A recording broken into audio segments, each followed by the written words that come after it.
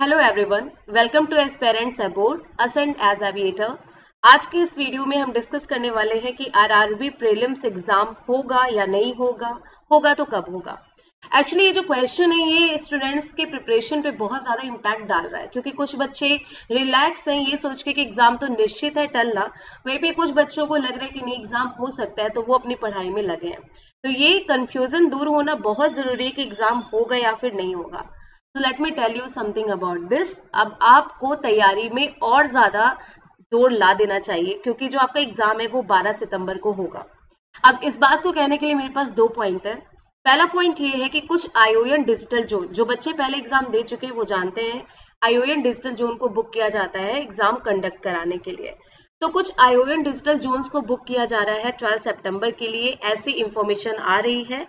Second thing उन्हें norms दिए जा रहे हैं कि सोशल डिस्टेंसिंग का पूरा पालन करते हुए एग्ज़ाम कंडक्ट कराना है।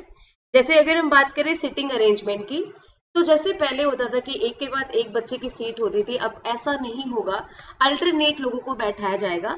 मतलब एक सिस्टम के बाद एक सिस्टम खाली रहेगा और फिर दूसरे स्टूडेंट को बैठाया जाएगा। सैनिटाइजर मास्क इन सारी चीज़ों की व्यवस्था होगी। It means total social distancing के तहत आपका एग्ज़ाम कंडक्ट कराया जाएगा। आईओएन डिजिटल जोन्स को इसके लिए नॉर्म्स भी दे दे गए हैं कि उन्हें कैसे व्यवस्था करनी है और उनकी बुकिंग भी स्टार्ट हो गई है। पहले जो पॉइंट है और पहला जो इंफॉर्मेशन है वो तो ये है। सेकंड ये है कि जो हेल्पिंग नंबर है, जो हेल्पलाइन नंबर है, अगर आप वहाँ पे कॉल करोगे, वैसे तो वो लगता नहीं, काफ़ी लगाने के बाद लगेगा। तो आप वहाँ पे कॉल करोगे और अगर आप उनसे पूछोगे कि आपका एडमिट कार्ड कब आ रहा है, क्योंकि अगर 12 सितंबर को एग्ज़ाम है तो एडमिट कार्ड आ जाना चाहिए। तो वहाँ से भी आपको ये कहा जा रहा है कि अप्रॉक्स थर्टी अगस्त तक आपका एडमिट कार्ड आ जाएगा। मतलब तीन से चार दिन में आपका एडमिट कार्ड आ जाएगा। तो अब आप लोग बिल्कुल कमर कस लीजिए और जो लोग पूरे डेडिकेशन के साथ आरआरबी के लिए प्रिपरेशन कर रहे हैं, वो अपने प्रिपरेशन में थोड़ा और ज़ोर लाएँ। समय बहुत कम है, मौका बहुत बड़ा है और इस बार इस एग्ज़ाम को क्रैक करना है।